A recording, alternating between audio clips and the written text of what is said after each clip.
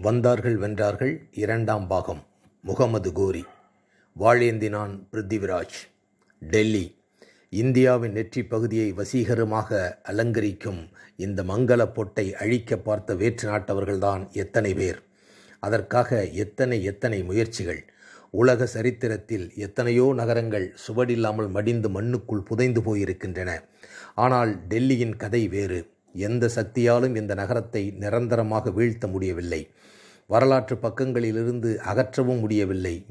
மீண்டும் மீண்டும் ஃபீனிக்ஸ் பறவையாக உயிர் பெற்று சிலிர்த்தெழுந்து நின்றது டெல்லி. ஆனால் கம்பீரமான இந்த மாநகரம் வரலாற்று போக்கில் வாங்கிய கத்தி குத்துகளும் தாங்கிய சோதனைகளும் நம்மை திகைக்க வைக்கின்றன. முதலில் பாபர் நிறுவிய முகலாய சாம்ராஜ்யத்துக்குள் நாம் பஸ் ஏறி பயணம் செல்வதற்கு முன் ஒரு ஃப்ளாஷ்பேக். ராக்கெட்டில் ஏறி பின்னோக்கி வேகமாக பயணிப்போம். அந்த கால டெல்லியை பற்றி சற்று உணர்ச்சிபூர்வமாக புரிந்து கொள்ள இந்த வேக பயணம் உதவும். ஆகாயத்திலிருந்து ஒன்றும் திடுதிப்பென்று குதித்த நகரமல்ல டெல்லி. என்றோ முன்னாளில் டெல்லியும் ஒரு பொட்டல் காடாகத்தான் இருந்திருக்க வேண்டும். அப்போதைய வரலாற்று குறிப்புகள் இன்று ஏதும் இல்லை.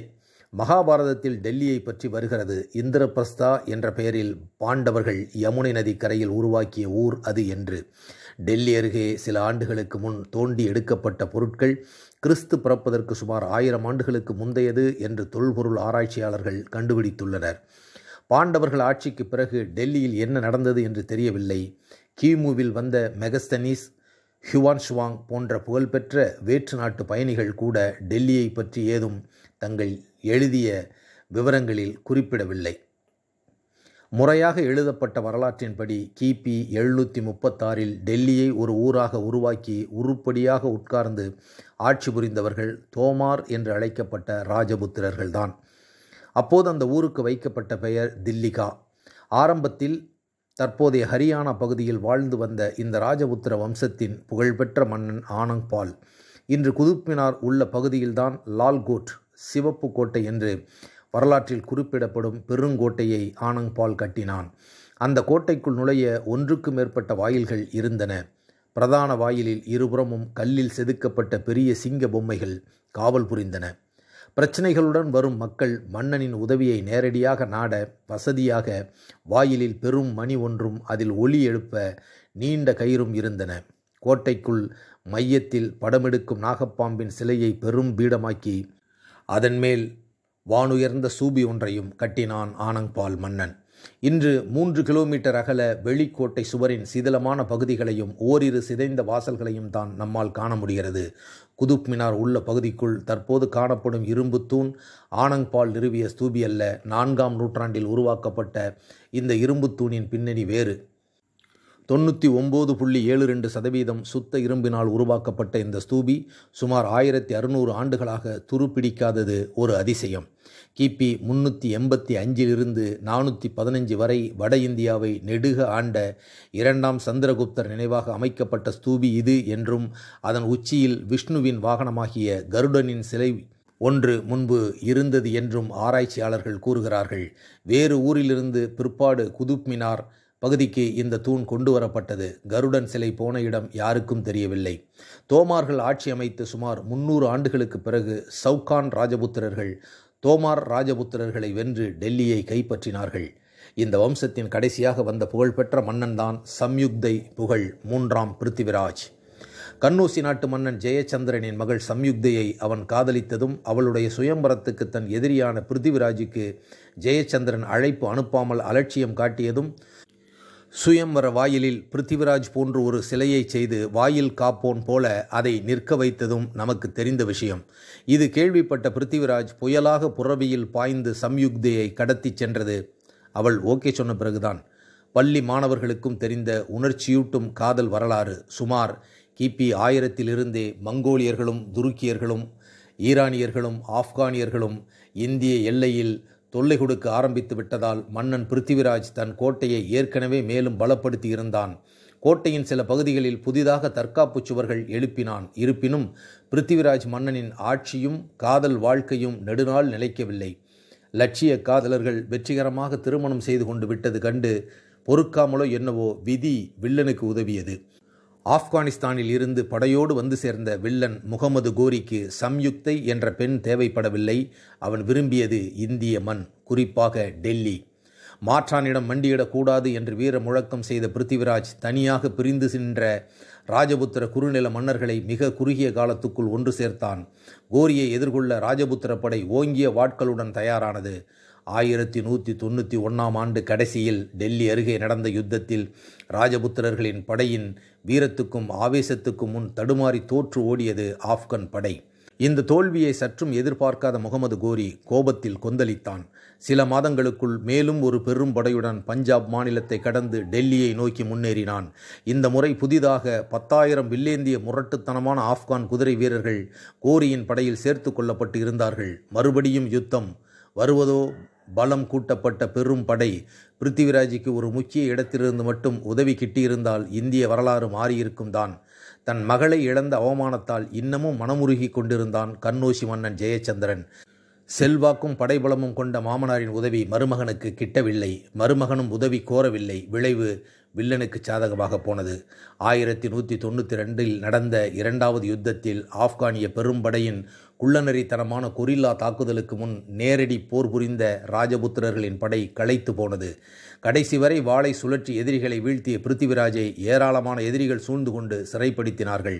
விலங்கிட்டு ஆப்கான் சுல்தானின் முன் நிறுத்தினார்கள். முதல் யுத்தத்தில் நம்மை மண் கவ்வ வைத்த அந்த ஆபத்தான வீரன் இவன்தானா என்ற நினைப்பு பகீரன மனதில் ஊடுருவேதோ என்னவோ முகமது கோரி ஆணையிட கம்பீரமாக நின்ற அந்த நிராயுதபாணியான ராஜபுத்திர வீரனின் தலை இறக்கமே இல்லாமல் உடனடியாக வெட்டி வீழ்த்தப்பட்டது. ஆம் இரத்தச் சேற்றில் கிடந்த ஆயிரக்கணக்கான ராஜபுத்திர மாவீரர்களின் உயிரற்ற உடல்களை தாண்டித்தான் முகமது கோரியின் படை டெல்லிக்குள் வெற்றி பிரவேசம் செய்ய முடிந்தது. அரண்மனைக்குள் பிரவேசித்த அந்த அந்நிய நாட்டு மன்னன் திகைத்து போனான். அங்கே ராணி சம்யுக்தையும் நூற்றுக்கணக்கான ராஜபுத்திர பெண்களும் தீக்குளித்து தங்கள் மறைந்த கணவர்களுடன் ஏற்கனவே வீர சொர்க்கம் புகுந்திருந்தார்கள். கண்ணோசி மன்னன் ஜெயச்சந்திரனையும் முகமது கோரி விட்டு வைக்கவில்லை. கண்ணோசி தரைமட்டமாக்கப்பட்டது. ஜெயச்சந்திரனும் கொல்லப்பட்டான். என்னதான் மனஸ்தாபம் இருந்திருந்தாலும் மருமகனின் உதவிக்கே போகாத இந்த துரோகி இன்னும் ஆபத்தானவன். தீர்த்து கட்டுங்கள் இவனை என்று ஆப்கன் மன்னன் குற்றம் சாட்டிவிட்டு கொன்றானா என்று தெரியவில்லை. சில நிமிடங்கள் நாம் சிந்திக்க வேண்டியிருக்கிறது. இந்திய வீரர்களுக்கு என்ன குறைச்சல்? முன்னேறிய நாகரிகம் மதிநுட்பம் வாய்ந்த அமைச்சர்கள் படைபலம் முறையான போர்த்திட்டம் எல்லாம் இருந்தும் ஏன் அந்நிய படையெடுப்பின் போதெல்லாம் வெற்றிகளை விட தோல்விகளை இந்தியர்கள் தழுவ நேர்ந்தது? சரித்திர ஆராய்ச்சியாளர்கள் இதற்கு சுவையான பரிதாபமான பல காரணங்களை கூறுகிறார்கள். மூன்று முகமது கஜினி. சோமநாதர் கோயிலும் முகமது கஜினியும் முகமது கோரியை கூட நாம் ஏற்றுக்கொள்ளலாம். வில்லனாக வந்தாலும் இந்தியாவை தன் சாம்ராஜ்யத்தின் கீழ் கொண்டு வர வேண்டும் என்ற அரசர்களுக்கே உரிய நியாயமான ஆசை அவனுக்கு இருந்தது. ஆனால் அவனுக்கு முன் இந்தியாவுக்கு வந்த முகமது கஜினியின் கதை வேறு. கோரியோடு ஒப்பிட்டால் கஜினி அதீத வெறிபிடித்த ஒரு சூப்பர் வில்லனாகவே வரலாற்றில் காட்சி தருகிறான். இங்கே பரீட்சையில் பலமுறை தோல்வியடையும் மாணவரை கஜினி முகமதுடன் நாம் தமாசாக ஒப்பிடுகிறோம். உண்மையில் கஜினி தொடர்ந்து தோல்வியடைந்ததால் மறுபடி மறுபடி இந்தியாவுக்கு வரவில்லை. அநேகமாக அவனுடைய பதினேழு படையெடுப்புகளுமே வெற்றிதான். ஆப்கானிஸ்தானில் காபூலுக்கு தெற்கே உள்ள நகரம் கஜினி கிபி தொள்ளாயிரத்தி எழுபத்தி ஏழில் மத்திய ஆசியாவைச் சேர்ந்த ஒரு துருக்கிய பிரபு ஆரம்பத்தில் அவர் ஒரு துருக்கிய அடிமையாக இருந்ததாகவும் சிலர் கூறுகிறார்கள். கஜினியை தலைநகராக்கி செல்வாக்குடன் ஆட்சி புரிந்தார். அவருடைய மகன்தான் கஜினி முகமத். கிபி தொள்ளாயிரத்தி தொண்ணூற்றி எட்டில் தந்தை இறந்த பிறகு அரியணையில் கஜினி முகமது அமர்ந்தபோது அவனுக்கு வயது இருபத்தி ஏழு. இரண்டு ஆண்டுகள் கழித்து பிறந்த புதிய நூற்றாண்டு தங்களை பொறுத்தவரை பெரும் தலைவலியோடு ஆரம்பிக்கப் போகிறது என்பதை வட இந்தியாவை ஆண்ட மன்னர்கள் சற்றும் எதிர்பார்த்திருக்க மாட்டார்கள். கிபி ஆயிரம் ஆரம்பித்தது இந்தியாவை நோக்கி கஜினியின் முதல் படையெடுப்பு. ஏன்? அப்போது எல்லோருக்குமே முதல் இலக்கு இந்தியா. காரணம் உண்டு. மத்திய ஆசியாவிலும் சரி ஆப்கானிஸ்தானிலும் சரி அரேபியாவிலும் சரி மன்னர்கள் மகுடம் சூட்டி கொண்டதும் அவர்கள் கேட்டு மலைத்த கதைகள் இந்தியாவை பற்றித்தான். இந்திய மண்ணில் விண்ணை முட்டும் கோயில்கள் கட்டி முடிக்கப்பட்ட மாளிகைகள் கொட்டி கிடக்கும் ஆபரணங்கள் இவை பற்றி பலர் விளக்கமாக விவரிக்க வெறிச்சோடிய பாலைவனத்தையும் கரடுமுரடான மலைத்தொடர்களையும் சூழ்நிலையாக கொண்டு ஆட்சி புரிந்த அம்மன்னர்கள் கண்களில் ஆர்வம் பொங்கி எழுந்ததில் ஆச்சரியமில்லை. மாபெரும் குதிரைப்படையோடு காலதாமதம் செய்யாமல் கைபர் கணவாய் வழியாக இந்தியாவுக்குள் நுழைந்தான் கஜினி முகமது. சிந்து நதியை கடந்து பஞ்சாப் பீடபூமியில் அவன் படை புகுந்தபோது அதை மடக்கி நின்று எதிர்கொண்டது பஞ்சாப் மன்னன் ஜெயபாலனின் படை. ஜெயபாலன் பிராமண குலத்தைச் சேர்ந்த மன்னன். ஒன்பதாம் நூற்றாண்டில் காபூல் சமவெளியையும் காந்தாரத்தையும் ஆண்ட ஷாக்கியா மன்னர் ஒருவரிடம் இந்த ஜெயபாலனின் கொள்ளுத்தாத்தா அமைச்சராக இருந்தார். அமைச்சராக இருந்ததோடு அமைதியாக உட்காராத அவர் அரசையும் கைப்பற்றினார். அவரது வழி வந்தவர்கள் பிற்பாடு ஆப்கானிய அரபு படைகளின் அதிரடி தாக்குதல்களை தாங்காமல் பஞ்சாப் மாநிலத்துக்கு ஆட்சியை நகர்த்தி கொண்டார்கள். பஞ்சாபில் உறுதியாக ஆட்சி செய்த அமர்ந்தவுடன் எடுத்த எடுப்பிலேயே முகமது கஜினியின் அதிரடி படையோடு மோத நேர்ந்தது. மன்னன் ஜெயபாலனின் போதாத காலமே. அசுரத்தனமும் அதிபுத்திசாலித்தனமும் கலர்ந்து போரிட்ட ஆப்கான் படையிடம் ஜெயபாலன் வீரர்களின் வீரம் எடுபடவில்லை. முதல் போரிலேயே பெரும் வெற்றியடைந்தது கஜினியின் படை. வெற்றியை தொடர்ந்து வெறியாட்டத்தில் இறங்கினார்கள் ஆப்கான் படையினர். பஞ்சாப் பூமியில் அவர்கள் கொள்ளையடித்த செல்வத்தை அள்ளிக்கொண்டு ஒட்டகங்கள் மீது ஏற்றி வைப்பதில் ஆயிரம் ஆயிரம் ஆப்கான் வீரர்கள் பல மணி நேரம் செலவிட்டார்கள். வந்த வேகத்தில் ஊர் திரும்பினார்கள். ஒவ்வொரு முறையும் இதே கதை இதே கொள்ளை கொலைகள் பிறகு ஊர் திரும்பல். கஜினி முகமதுக்கு இந்தியா மிகவும் பிடித்து போய்விட்டது. கிபி ஆயிரத்தில் ஆரம்பித்து அநேகமாக ஆண்டுக்கு ஒரு முறை இந்தியாவின் மீது படையெடுப்பதை ஒரு பிரத்யேக திருவிழாவாக கொண்டாடினான் கஜினி. ஒரு ஓனாயின் வாயில் சிக்கி குதரப்பட்ட மான்குட்டிகளைப் போல சௌராஷ்டிரம் கன்னூசி மதுரா தானேஸ்வர் என்று ஒவ்வொன்றாக கஜினி படையின் வாழ்வீச்சில் ரத்தம் பூசி கொண்டது இந்தியாவில் முல்தான் பிரதேசத்தை ஆண்ட சுல்தான் தாவூத் என்னும் இஸ்மாயிலி பிரிவைச் சேர்ந்த சுல்தானையும் கஜினி விட்டு வைக்கவில்லை. கொள்ளை என்று இறங்கிய பிறகு எதிரி எவனாக இருந்தால் என்ன? தாவூதை வெட்டி சாய்த்து முல்தான் தலைநகரை தரைமட்டமாக்கினான் முகமது கஜினி. கஜினிக்கு இன்னொரு விசித்திரமான கொடூரமான பழக்கம் இருந்தது. அவன் வெற்றி கொண்ட மன்னர்களின் கை விரல்கள் அத்தனையையும் வெட்டி எடுத்துக்கொண்டு திரும்புவதை வழக்கமாக கொண்டிருந்தான். இப்படி அவன் ஏதோ தபால் தலைகளைப் போல சேகரித்த விரல்கள் ஆயிரக்கணக்கில். இந்தியாவில் ஒவ்வொரு முறை புகுந்து வெற்றி கொடி நாட்டிய மறுகணம் ஆப்கன் படை குறிவைத்து குதூகலத்துடன் கிளம்பியது. இந்துக்களின் கோயில்களை நோக்கித்தான். மாதக்கணக்கில் நம் வீரர்கள் அலைந்து திரிந்து சேகரிக்க வேண்டிய செல்வம் அனைத்தையும் ஒரே பாய்ச்சலில் அள்ளி கொண்டு வர வேண்டுமா? அரண்மனைகள் கூட அவசியமில்லை. நேரத்தை வீணாக்காமல் முதலில் கோயில்களின் பக்கம் நம் படையை திருப்புங்கள். அங்கு நம்மை வழிமறிக்க அகழிகள் அரண் ஆட்படை எதையும் இந்தியர்கள் வைத்திருப்பதில்லை என்று முன்கூட்டியே கஜினிக்கு இந்தியாவை பற்றி ஒற்றர்கள் விவரித்திருந்தார்கள். குறிப்பாக சோமநாதர் கோயிலுக்கு நேர்ந்த அனுபவம் ஓர் உச்சகட்ட பயங்கரம். டிசம்பர் ஆயிரத்தி இருபத்தி ஐந்து பதினேழாவது முறையாக புழுதி பறக்க ராஜஸ்தான் பாலைவனத்தை புயலாக கடந்து குஜராத்தின் தென்கோடியில் உள்ள சோமநாத் ஊருக்குள் அலையென கஜினியின் படை புகுந்தது. அங்கு கடற்கரையோரம் இருந்த சோமநாதர் என்று வழிபட்ட சிவன் கோயில் நாடெங்கும் புகழ்பெற்றது. கர்ப்ப கிரகத்தில் காட்சி தந்த சிவலிங்கத்தை கோயில் கட்டிய வல்லுநர்கள் அந்தரத்தில் மிதக்கும்படி அமைந்திருந்தது ஓர் அதிசயம். சோமநாதர் ஆலய சொத்தில் பத்தாயிரம் கிராமங்கள் அடக்கம் என்றால் கோயிலில் கொழித்த செல்வச் செழிப்பை பற்றி புரிந்து கொள்ளலாம். இது தவிர மன்னர்களும் செல்வந்தர்களும் பக்தர்களும் காணிக்கையாக அளித்த செல்வம் ஒரு சிறு மலையாக குவிந்திருந்தது. கூடவே அரசர்கள் காணிக்கையாக செலுத்திய நூற்றுக்கணக்கான தங்க விக்கிரகங்கள் அவற்றை அலங்கரிக்க வைரங்கள் வைடூரியங்கள் முத்துக்கள் பதித்த அற்புதமான ஆபரணங்கள் இன்னொரு புறம் கோயில் கஜானாவில் பெருமழையாக நிரம்பி வழிந்த பொற்காசுகள். ஒவ்வொரு சூரிய கிரகணத்தன்றும் ஒரு லட்சத்துக்கு மேல் இந்துக்கள் கடலில் நீராடி சோமநாதர் கோயில் முன் பக்தி பரவசத்துடன் கூடுவது வழக்கம். சோமநாதர் கோயிலில் பூஜைகள் நடத்த நியமிக்கப்பட்டிருந்த அர்ச்சகர்கள் மட்டுமே ஆயிரம் பேர். பூஜை காலங்களில் ஆலயத்தில் நடனமாட ஐநூறு அழகிய நாட்டியமணிகள் நியமிக்கப்பட்டிருந்தனர். பாடகர்கள் ஐநூறு பேர். ஆலயத்துக்கு வரும் பல்லாயிரக்கணக்கான பக்தர்கள் தங்கள் முடியை காணிக்கையாக செலுத்துவதும் வழக்கத்தில் இருந்தது அதற்காக நியமிக்கப்பட்ட நாவிதர்கள் முன்னூறு பேர். அவ்வளவு ஏன்? ஒவ்வொரு நாளும் இருமுறை கடலிலிருந்து ஒரு பெரும் அலை கிளம்பி முன்னேறி சற்று தொலைவில் இருந்த சோமநாதர் ஆலய படிக்கட்டுகளை தொட்டு வணங்கி திரும்பும் என்று ஊர் மக்களால் வியந்து பேசப்பட்ட திருத்தலம் அது.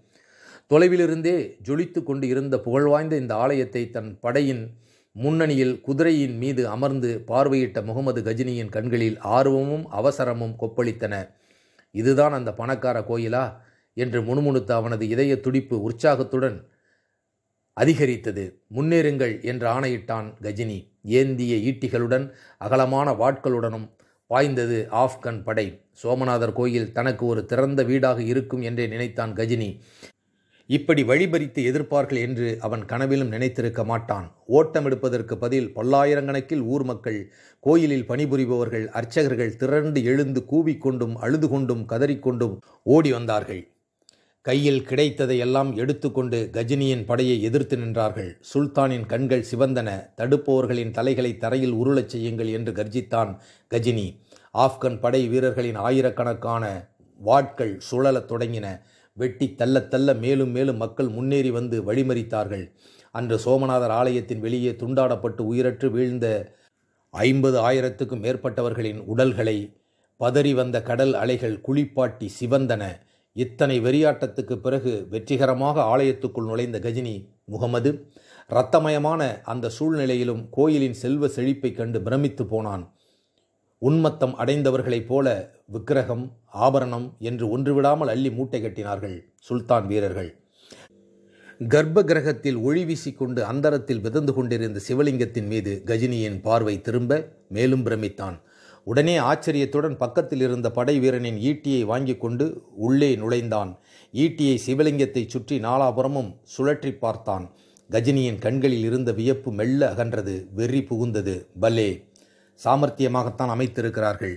மேலே கூரையிலும் பக்கவாட்டிலும் உள்ள அந்த கற்களை அகற்றி தள்ளுங்கள். இது ஏதோ காந்த சக்தியின் வேலை என்று கஜினி ஆணையிட வீரர்கள் உடனே செயல்பட்டனர். சுற்றிலும் கற்கள் உடைக்கப்பட்டு அகற்றப்பட்டன. சிவலிங்கம் மெல்ல அசைந்தது. பிறகு கீழே இறங்கி இறங்கி தொப்பென்று வீழ்ந்தது. தன் இரு கைகளாலும் அலேக்காக அந்த சிவலிங்கத்தை தூக்கி வந்து கோயில் முன் போட்டு உடைத்தான் முகமது கஜினி. படை வீரர்கள் ஹோவென்று ஆரவாரிக்க வானமும் சிவந்தது. சோமநாதர் கோயிலில் நடந்தேறிய இத்தனை கொடூரத்தையும் விவரமாக சற்று வருத்தத்துடன் எழுதியிருப்பவர் அல் காஸ்வினி என்னும் அரபு நாட்டு சரித்திர ஆராய்ச்சியாளர். காரியம் முடிந்தபின் கடைசி முறையாக இந்தியாவை ஒரு நிறைவான பெருமூச்சுடன் திரும்பி பார்த்துவிட்டு நாடு திரும்பினான் முகமது கஜினி. சோமநாதர் கோயிலில் இருந்து அவன் கொண்டு போன தங்கம் மட்டுமே ஆறு டன் எடைக்கு மேல் என்பது குறிப்பிடத்தக்கது. அல் காஷ்வினி என்றில்லை பல முஸ்லிம் சரித்திர பேராசிரியர்கள் கஜினி முகமது பற்றி குறிப்பிடும்போது அவன் தேவையில்லாமல் வெறியாட்டம் ஆடியதாகவே வருந்தி குறிப்பிட்டிருக்கிறார்கள். இத்தனைக்கும் சாம்ராஜ்யம் நிறுவும் எண்ணம் எதுவும் கஜினிக்கு இருந்ததாக தெரியவில்லை. ஆகவே அவன் நிகழ்த்திய கொடுமையை நியாயப்படுத்தக்கூடிய வாதங்கள் யாரும் எடுத்து வைக்க முன்வரவில்லை. சுருக்கமாக சொல்லப்போனால் முகமது கஜினியை கொலைவெறி பிடித்த ஒரு கொள்ளைக்காரனாகத்தான் நாம் கொள்ள முடியும். இதில் மாறுபட்ட கருத்துகளுக்கு இடம் இல்லை. ஆனால் ஒன்று கொள்ளையடித்த பெரும் செல்வத்தை கொண்டு தன் சொந்த ஊரான கஜினியை சிறந்த நகரமாக உருவாக்க செலவழித்தான். அருமையானதொரு லைப்ரரியும் மியூசியமும் மக்களுக்காக கட்டித்தந்தான் அவன் அரண்மனையில் கவிஞர்களும் பாடகர்களும் ஓவியர்களும் கூடி தங்கள் கலைத்திறனை சுல்தான் முன் காட்டி அவனை மகிழ்வித்தார்கள். பிருதௌசி அல்பெரூனி போன்ற புகழ்வாய்ந்த சரித்திர ஆராய்ச்சியாளர்கள் எழுத்தாளர்களை அவன் அன்புடன் தன்னோடு வைத்து கொண்டிருந்தான். அவர்களும் பெரும் செல்வாக்குடன் சகல வசதிகளுடனும் வாழ்ந்தார்கள். ஆம் கஜினிக்கும் ஒரு மறுபக்கம் இருக்கத்தான் செய்தது. வடமேற்கில் தொடர்ந்து கஜினி முகமது படையெடுத்து கொண்டிருந்த அதே நேரத்தில்தான் ஒரு மாவீரன் இந்தியாவின் தெற்கு பகுதியிலிருந்து ஒரு பெரும் படையுடன் கிளம்பி வடக்கு நோக்கி வந்து சேர்ந்தான். அவனுடைய வீரர்களை யாராலும் எதிர்த்து நிற்க முடியவில்லை. இன்றைய ஹைதராபாத் ஒரிசா வங்காளம் எல்லா நாடுகளும் அந்த மன்னனின் வீரத்தின் முன் மண்டியிட்டன. கங்கை நதி நீரை குடங்களில் நிரப்பி தான் வெற்றி கண்ட மன்னர்களின் தலைமீது வைத்து தன் ஊருக்கு திரும்பினான் அந்த மன்னன். அந்த மாவீரன்தான் தமிழகத்தை ஆண்ட ராஜேந்திர சோழன். இந்தியாவின் வடமேற்கே கஜினி படையெடுத்து வந்திருக்கும் விஷயத்தை நிச்சயம் ஒற்றர்கள் ராஜேந்திர சோழனிடம் சொல்லாமல் இருந்திருக்க மாட்டார்கள். ஆனால் ராஜேந்திர சோழனின் விருப்பம் கப்பற்படையுடன் சென்று மலேயா சுமத்ராவை கைப்பற்ற வேண்டும் என்பதாக இருந்தது. தென்னாட்டிலிருந்து வந்திருக்கும் ஒரு மாமன்னன் கங்கை வரை வந்து வெற்றி கொடி நாட்டிய விஷயம் முகமது கஜினிக்கும் சொல்லப்பட்டிருக்க வேண்டும். சிந்து நதியை கடந்தது போதாதா? கங்கையை வேறு கடந்து படைபலம் தெரியாமல் யாரோ ஒரு தென்னாட்டு மன்னனுடன் யார் மோதிக்கொண்டிருப்பது எதற்கு வீண் வம்பு என்று தன் கவனத்தை வடமேற்கு பகுதிகளிலேயே கஜினி செலுத்தியிருக்க வேண்டும். கஜினி முகமது ராஜேந்திர சோழன் இருவரும் போர்க்களத்தில் நேருக்கு நேர் சந்திக்காமலேயே திரும்பினார்கள் என்கிறது வரலாறு. ஆப்கானிஸ்தான் திரும்பிய கஜினி முகமது ஒரு விஷக்காய்ச்சலில் படுத்து ஆயிரத்தி முப்பதில் இறந்து போன செய்தி கேட்ட வட இந்தியா நிம்மதி பெருமூச்சு விட்டது என்றே கூறலாம். கஜினி பிறகு கோரி முகமது பிறகு தைமூர். இப்படி தொடர்ந்து இந்தியாவுக்குள் வேற்று நாட்டவர்கள் படையுடன் புகுந்தும் இந்திய குறுநில மன்னர்கள் ஒன்று சேர்ந்து எந்த ஒரு தற்காப்பு நடவடிக்கையையும் எடுக்காதது ஒரு பரிதாபகரமான உண்மை. ஒன்றுபட்டால்தான் உண்டு வாழ்வு என்ற உண்மையை ஏற்றுக்கொள்ள மறுத்தார்கள் இந்த ராஜபுத்திர மன்னர்கள். தவிர மறதி என்கிற வியாதியும் அவர்களை பீடித்திருந்தது. ஒவ்வொரு முறை அந்நிய படை வரும்போதும் விழித்து கொண்டு அவசர கதியில் அரைகுறையாக ஒருங்கிணைவதும் படையெடுப்பு முடிந்தவுடன் எல்லாமே மறந்து விடுவதும் பிறகு பழையபடி கச்சிதமாக பிரிந்து உள்ளூர் சண்டையில் இறங்குவதும் அவர்களுக்கு வழக்கமாகி போனது. பிருத்திவிராஜ் ஜெயச்சந்திரன் ஒரு உதாரணம். இந்தியர்களின் தொடர்ந்த தோல்விக்கு மேலும் சில காரணங்கள். அந்நிய படை இந்தியாவுக்குள் நுழைய வழி கைபர் கணவாய் அல்லது கோமால் கணவாயாக இருந்தது. சீனர்களைப் போல ஆயிரத்தி ஐநூறு மைல் நீள நெடுஞ்சுவர் கூட தேவையில்லை. இந்த இரண்டு கணவாய்களை காக்க சிறு கோட்டைகளை கூட எழுப்பவில்லை இந்திய மன்னர்கள். உங்களை காக்க நான் ஏன் கோட்டை எழுப்ப வேண்டும் என்கிற ரீதியில் காழ்ப்பு உணர்ச்சியும் விதண்டாவாதமும் அன்று மலிந்திருந்ததுதான் காரணம். இத்தனைக்கும் வடபுலத்து அரசர்கள் பலர் உறவினர்கள். இந்திய மன்னர்களுக்கு நல்ல ஜாதி குதிரைகள் வளர்ப்பு என்பது எப்போதுமே புரிப்படாமல் இருந்தது. சோழர்கள் கூட வருடா வருடம் ஐயாயிரம் பத்தாயிரம் என்ற குதிரைகளை அரபு நாடுகளிலிருந்து இறக்குமதி தான் செய்தார்கள். ஆனால் ஆப்கானிஸ்தான் குதிரைப்படையோ பிரத்யேக போர் பயிற்சி பெற்று சிக்கென்று இருந்தது. ராஜபுத்திரர்கள் நேரடி போரில் மாவீரர்கள் என்பதில் சந்தேகமில்லை. ஆனால் போர் தர்மத்தை பின்பற்றுகிறேன் பேர்வழி என்று களத்தில் அவர்கள் தேவையில்லாத பெருந்தன்மையை காட்டுவதை ஒரு பெருமையாக கருதினார்கள். அது பலமுறை வினையாக முடிந்தது. முதல் யுத்தத்தில் முகமது கோரியை வெற்றி கொண்டும் பிருத்திவிராஜ் அவனை கொல்லாமல் விட்டது ஒரு உதாரணம். பொதுவாகவே பல இந்திய மன்னர்களுக்கு போர் என்பது வீரம் கலந்த ஒரு பொழுதுபோக்காகவே இருந்தது. ஆகவே தற்காப்புக்காக யுத்தம் செய்வதோடு நிறுத்தி கொண்டார்கள். வழியே சென்று தாக்குவதே சிறந்த தற்காப்பு என்ற உண்மையை அவர்கள் புரிந்து கொள்ளவே இல்லை. அண்டை நாட்டு படையினரின் கதை வேறு. மலைகளையும் நதிகளையும் கடந்து அவர்கள் இந்தியாவுக்கு வர காரணம் அவர்களுக்காக இங்கு காத்திருக்கும் பெரும் செல்வம். அது அவர்களுக்கு ஒரு இலக்காக இருந்தது. இந்திய வீரர்களோ கடமைக்காகவும் வீர மரணத்துக்காகவும் மட்டுமே களம் குதித்தார்கள். வந்தவர்களை மதம் இணைத்திருந்தது. நம்மவர்களை ஜாதிகள் பிரித்து வைத்திருந்தன. இங்கே படையில் பெரும் பதவிகள் தரும்போது ஜாதியையும் கருத்தில் கொண்டு செயல்பட்டார்கள். ஆப்கன் படையில் திறமைக்கு மட்டுமே மதிப்பு தரப்பட்டது உண்மை.